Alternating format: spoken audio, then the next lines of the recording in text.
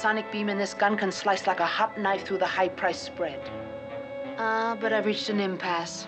Shall I steal your voice or end your life? Whichever you decide, I'm sure it'll be the wrong choice. You've a pretty sharp tongue for a man about to say goodbye to this world, Batman. Beg, beg for your mortal existence. I'd rather die than beg for such a small favor as my life. What are you waiting for? Can't you see how I feel about you, Batman? How I want you by my side. It won't work, Catwoman. If you're going to kill me, you might as well get it over with.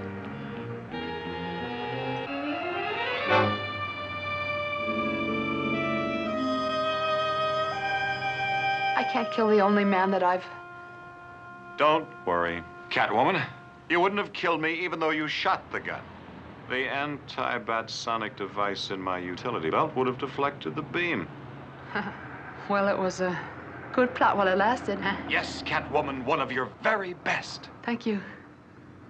But still, the problem remains. How do we undo what you did? The stolen voices? Yes.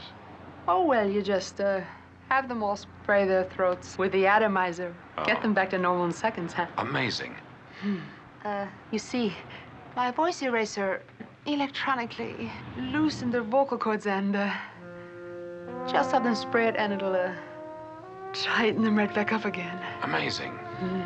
Batman, when I get out of jail, will you take me on a date?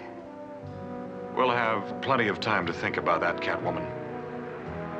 Several years, I'm afraid.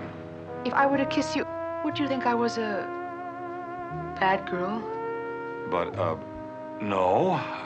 No, of course not. Catwoman. Kissing is one of the most natural things in the world.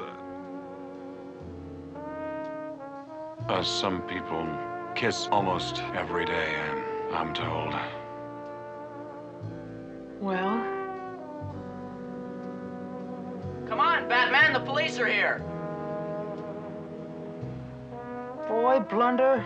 Catwoman, may I take a rain check on that kiss? Certainly, Batman. Anytime.